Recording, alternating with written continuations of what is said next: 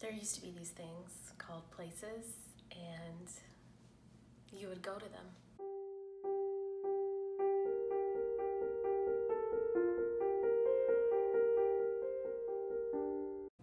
I don't know how to explain the concept to you, except it was just where you weren't at at the time. And you'd say, hey, we need to go to this place.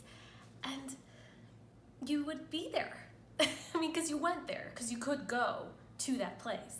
Because before, you could just go to a place if you wanted to be at that place, if you didn't want like the place where you were at at the beginning. You know, there was moments where you might have felt out of place or placed out or you wished you were at your old place, but that's what made it a place.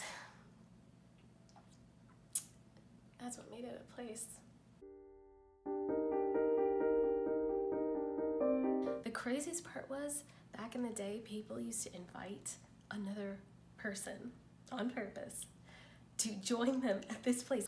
You got to meet people. You would meet up with a person at a place. It was amazing. It was like you could actually you do it on purpose.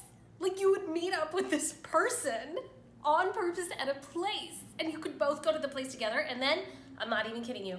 If you wanted to, you could go with that person to another place.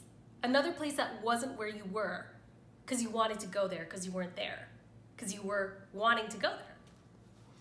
So they were called places and you were there in those places. Not all the time. You went to other places and that's what made them places because they were more than one. They were more than one place. Yeah, I remember that.